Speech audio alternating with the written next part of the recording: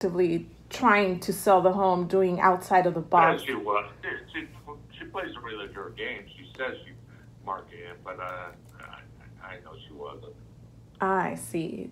Did you get any showings? Oh yeah, I got a, But you know what? To be honest with you, dear, I got more showings I went out and got than what she did. Oh, okay. Wow. Yeah, so, I'm like I'm aggressive. I'm not like your regular little JoJo guy you talk to all the time. Uh, yeah. Then you would be perfect so that I can work with you. Um, okay, so if the home sells in less than 30 days, that would not be a problem for you, right? No. No, okay. Um, the price that you set on the home, uh, how did you guys determine that? She determined that. I think we'll raise it. Okay, so you feel it should be a little bit higher? Um, or what price? yeah. Uh, over a million, I know that. Uh, a million thirty to a million forty-five, I don't know. Okay. Perfect. I haven't made a decision on any of that. That's why I said I haven't come to grips with what I want to do exactly yet. Yeah, okay. Now, when the home sells, will you be downsizing or what is the ideal plan for you? That that has nothing to do with anything. So okay. I'll be getting house bigger than this house, but that? Uh, does that tell you anything? Okay, no, I just want to make sure that if we actually work together and we sell your home, you know where you're going to be going to next unless you have to purchase another property. Okay, so you're set, and ready to go. Okay. Yeah, yeah, that's not a problem. Okay, perfect. Now, is there anything negative that you think a buyer would notice? I know you have a very beautiful home, but is there anything negative you think? Um, anything negative on our property? There's no swimming pool. No swimming pool. That's okay. a negative. I don't know if that's a negative. To me, I don't think so. Yeah. Honey. Yeah. I mean, the guest house, I've designed it where a new tenant can build it out any way they like. Okay. I don't look at that as a neg- I don't look at that as a negative. I look at it as, as a plus. But you know. Yeah. No, a negative would be like the location, but no, based on what you're telling me and the condition of the home, it doesn't seem like there's anything negative. There's more positives than there's more positive than negatives. Yeah, perfect. Now, what do you think would be the lowest price you would consider for the home? Maybe, and it would have to be the right buyer and the time they could consummate a deal and all that. Maybe one twenty-five. 125. Okay. 1 million. Yeah. Yeah. Now, is that property already paid off or do you still have a mortgage on it? I still have a mortgage on it. Okay. Do you have like a ballpark number of what it is that you owe? What? Oh, I know exactly what I owe. Yeah. 662 on the first. Okay. Yeah. And 24 on the second. Okay, perfect. Because I will be creating a net sheet so that you can see exactly all of the costs associated with the sale, which I'm sure you want to know. Perfect. Oh, definitely. And your cost of selling it. Yeah, all of that will be in there. Okay. Now, as of right now, you mentioned you're only just talking to one other agent, right? No, I got two in mind. That's why I haven't made a commitment yet. Okay, but did you already interview them?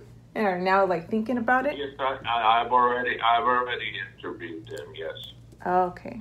And the one of them sells over 400 homes a year, um, so I got to see what you sell. Yeah. Well, out of those 400 homes, did they actually provide you with a list of how many oh. they actually sold, and their list to sales oh, price yeah. ratio? Oh yeah, they oh man, they're super aggressive. Okay. Chinese. They're Chinese. Okay. I don't think that matters ultimately. You just want to make sure whoever. No, it doesn't matter. I don't care if you sell to Larry and Compton. Exactly. Larry and Compton might have $5 million you want to pay for your house. well, it's, uh, I, don't, I don't care at this end. Yeah. Okay. Now, what would happen if the property just didn't sell? I just decide to uh, take down the sign. Okay, so you're gonna stay. You don't have to move, or you're not gonna rent it out. I've been here for 40 years, dear. Wow, it's a beautiful home. I don't blame you for wanting to go a little bit bigger now. Is it? Are you staying in California? No. No. Okay. Perfect. Now, what is a good email for you so that when I put everything together, I can shoot it over? Why don't you just mail it? Okay. Okay. Yeah, it's easier. Okay. I can mail it or I can deliver it in person. Which one would you prefer? Mail. Mail. Okay, I'll send it through FedEx.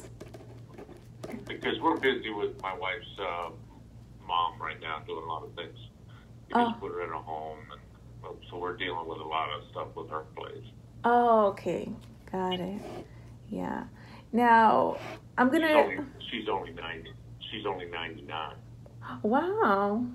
That's awesome. At least she's still here. 99. My grandma's 95.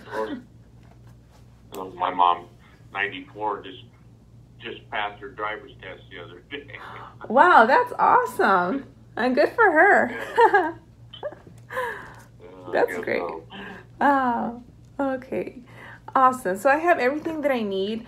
Um, now, obviously, if I see that the numbers make sense and I can actually help you, is there a day, maybe during the week or on the weekend, that you and your wife would be available? You'd have to do what you're doing right now for me to uh, uh, make that decision. I can't. I don't. I'm not ready to make that decision today. No, of course. I'm not saying you should make a decision right now. I just want to at least put you in my calendar to check in, or maybe we can meet and I can go over everything and Well, then you, know, you, can- you can call me later in the week later. after I read your stuff. Might be the smartest thing you can do. Yeah, of course. I just want to at least have something set up. So do you You want? gotta realize I get. I've gotten about 400 of these calls over the last few months. I bet, and we all sound annoying, but I'm glad that you at least took some time to speak to me. So I really appreciate that. I must be doing something differently, right? would- I didn't expect any calls that quick. I just just uh, fired them yesterday. Really, the easiest way to put it. Yeah, I don't blame you. There's a lot of incompetent agents out there, unfortunately.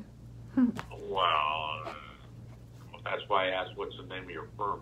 She was Century Twenty One, and they tried to put me with another agent. I said, "No, that don't work." Oh, no, no. If we work together, you're going to deal with me directly. And I do whatever I can to help my clients. Okay, perfect. All right, so I have everything. I will mail it over and then I can touch base with you. When would be a good day or time, do you think? Uh, Friday? Uh, uh, yeah, that's fine. Friday around this time? Sure. Friday. Okay, perfect. All right, now is this the best number to reach you at in case I do have another question? It's the only number you can reach me at. Okay. Does this happen to be a cell phone by chance so that I can shoot you a text message with my yeah, info? so you can you can always send me a text. Okay, perfect. I will go ahead and do that. So you know who I am. So when I call Friday, you know exactly who I am and don't blow me off. Okay. Thank you. All right. Thank you so much, Mr. Work, for your time. Enjoy the rest of your day. Okay. Bye. Bye. Bye. Bye. That was a million dollar property. Did you just set an appointment? All right. Fucking ice cream today for sure, man. Fuck yeah. yeah. I was getting breakfast. Oh, you were getting breakfast? Yes. I recorded. Well, ladies and gentlemen, there you go. You just got a raw video um, from Loida, who was one of my team members, if you didn't know. And boom, appointment set. It's not really that difficult. Uh, what I decided to do was shake things up. As I've evolved, as my team has grown, and my role has changed, being more a leader than just an employee, like I did four or five years ago when you saw me building my channel and building my business. I said, you know what, we're gonna shake things up. I'm gonna start having them record because they come in the office every day and they make calls, they door knock. I'm gonna start compiling a bunch of different footage of Loida, Kevin, and Anthony out there setting appointments, the good and the bad. So you're going to see appointments set, and you're also going to see when they get told to fuck off and all the quote failures. That way, you guys can get a glimpse of how I've passed the torch to them, and you get an insight into the daily hustle and how it still works and what they're doing. So I hope you guys enjoy it, as you're going to get a very driver seat type of uh, point of view from all of them. So be ready.